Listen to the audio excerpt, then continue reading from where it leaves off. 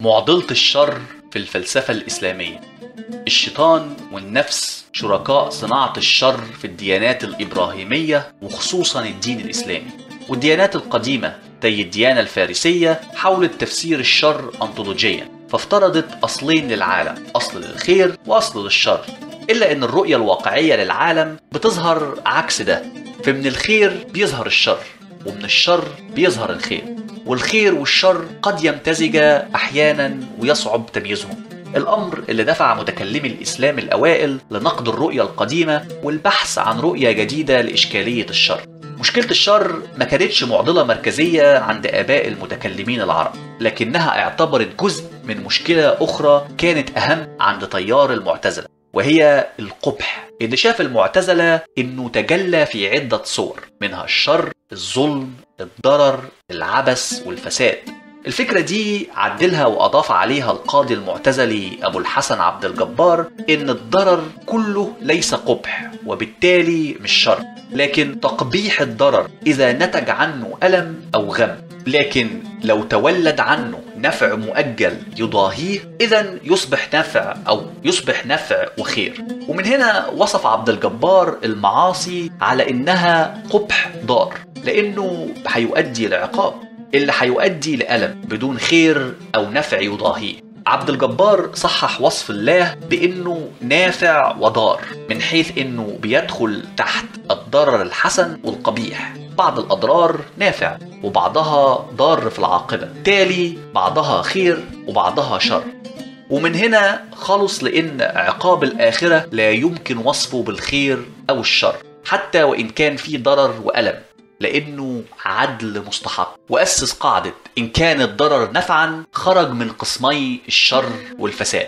وعلى هذا الوجه اعتبر الله نفعا بالتكاليف والآلام. لأنه بيثب لأنه بيثيب الصابرين ويعوضهم عن اللي تحملوه خلال رحلتهم الحياتية. وضرب بالأنبياء أكبر مثال في دعوتهم الناس للدين وتحملهم صعاب ومشاق الدعوة. وبالتالي ميز عبد الجبار الأفعال حسب علاقتها بالخير والشر لنفع حسن هو الخير وضرر حسن وهو شرور مجازيه زي الفقر والمرض والمصيبة وضرر قبيح زي الكفر شر في ذاته مهلك لصاحبه المعتزلة شافوا إن الشر نوع من الأفعال بيقوم به العبد المكلف في الدنيا على خلاف ما ينبغي فيكون إما مهلك له في الدنيا أو في الآخرة.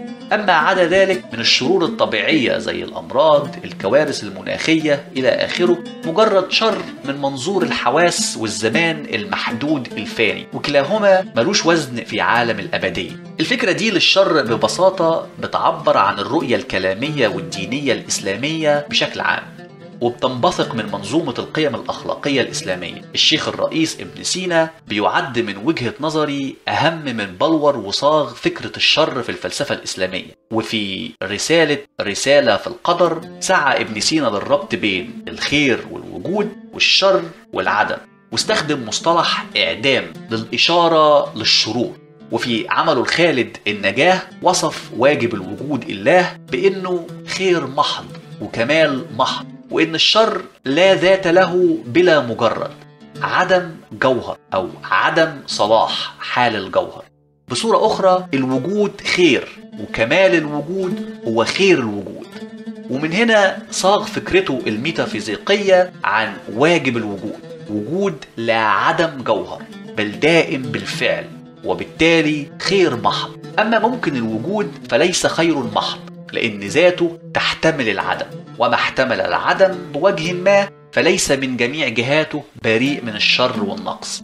حجة الإسلام الإمام أبو حامد الغزالي ما بعدش كتير عن الطريقة دي في فهم الشر وما اتبعش طريقة المعتزلة الكلامية في ربط الشر بفكرة الضرر المتبوع بنفع يكافئه وما قدرش يشوف للشر معنى مستقل عن الخير فالشر والخير مفهومان متناقضان يبرز معناهما بالتعارض مع بعضهما البعض. في تهافت الفلاسفة جادل الغزالي إن الخير مرادف للوجود والكمال والنظام وبالتناقض أصبح الشر دلالة على عدم الوجود أو عدم كمال الوجود. فالشر لا ذات له ولكن الوجود هو خير محض والعدم شر محض وسبب الشر هو الذي يهلك الشيء أو يهلك كماله.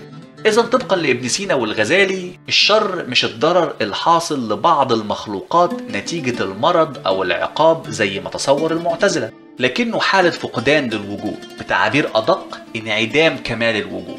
المفهوم ده هو نفس المنهج اللي اعتمد عليه اللاهوتيين المسيحيين في القرون الأولى والوسطى. القديس أوغسطينيوس جادل إن الأشياء القابلة للفساد تفقد من خيرها بحسب ما يلحق بها من الفساد أي العدم فلو عدمت الخير كله فقدت وجودها بالكامل. وبالتالي أصبح من غير الممكن وجود شر مطلق بدون وجود أي خير على الإطلاق.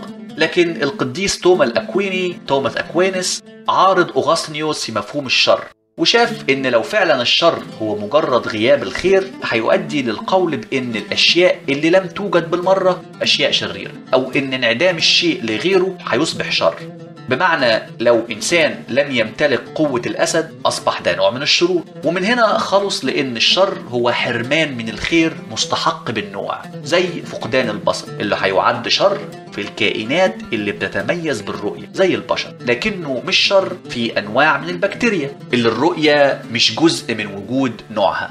وبالتالي أصبح الشر سلبا في جوهر الكائن أو انعدام للماهية. ومن هنا أصبح الشر بالنسبة للأكويني مفهوم نسبي فلا وجود لشر بذاته أو لشر مطلق بل وجوده دائما شر بالنسبة لموجود محدد السمات ناله حرمان ما.